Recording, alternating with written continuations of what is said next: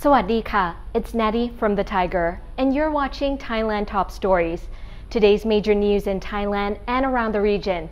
Stay tuned for a quick update on the COVID 19 situation here in Thailand, and of course, don't forget to subscribe to the channel. Thai businesses are calling on the government to quickly lift all the restrictions on alcohol sales in the country. In April, the government ordered a complete shutdown of bars and entertainment venues in an attempt to stop the spread of what was called the third wave of COVID in the country. But hospitality businesses are warning that reopening the country without any nightlife on November 1st will only discourage people from visiting and drive them to other holiday spots where they are actually allowed to go to bars and have a drink. Curfew will be lifted for 17 provinces that are focused on reopening, but alcohol and nightlife reopening won't be considered until December 1st, according to PM Prayut Chan-o-cha. Members of the opposition Move Forward Party say a dry reopening will further damage Thailand's reputation and not be successful as arriving travelers will be angry at the lack of entertainment and nightlife. Police are investigating the case of stolen COVID 19 drugs by a hospital manager. A number of arrests have been made following the seizure of antiviral drugs used to treat COVID 19 in Thailand, with hundreds of boxes of favipiravir medications allegedly stolen by a hospital manager and destined for online sales.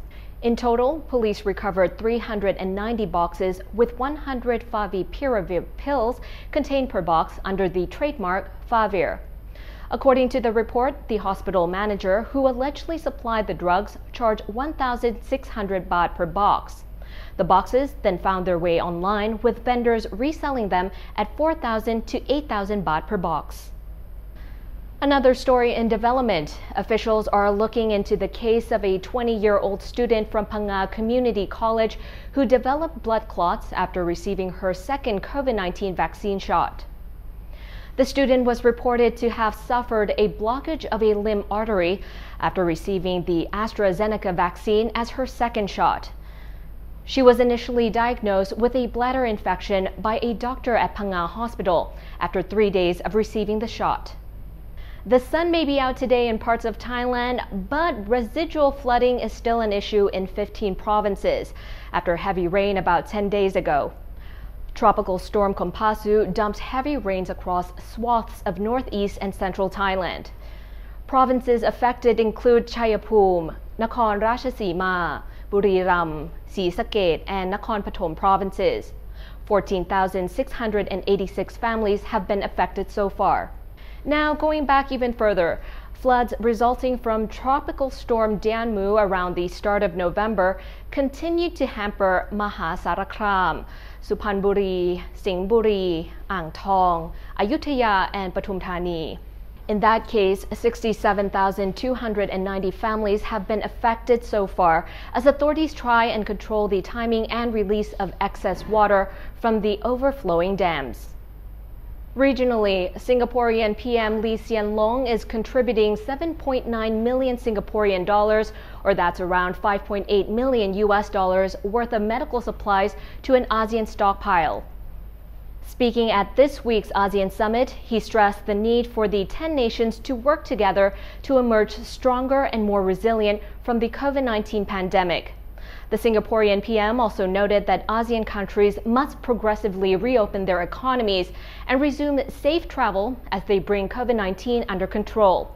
He added that with the COVID 19 pandemic remaining a key challenge after two years, ASEAN nations must work together to improve access to vaccines.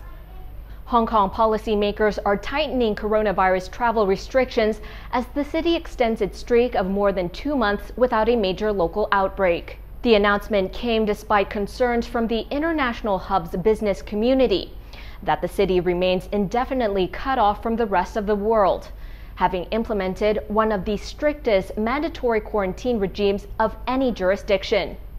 Most arrivals must undergo 14 to 21 days of hotel quarantine. At present, Hong Kong allows certain groups of people to skip quarantine or isolate at home. They include diplomats and business leaders, as well as some mainlanders with Hong Kong resident cards. And now for a quick update on the COVID 19 situation here in Thailand. New cases of the Alpha Plus coronavirus variant are rising here in Thailand.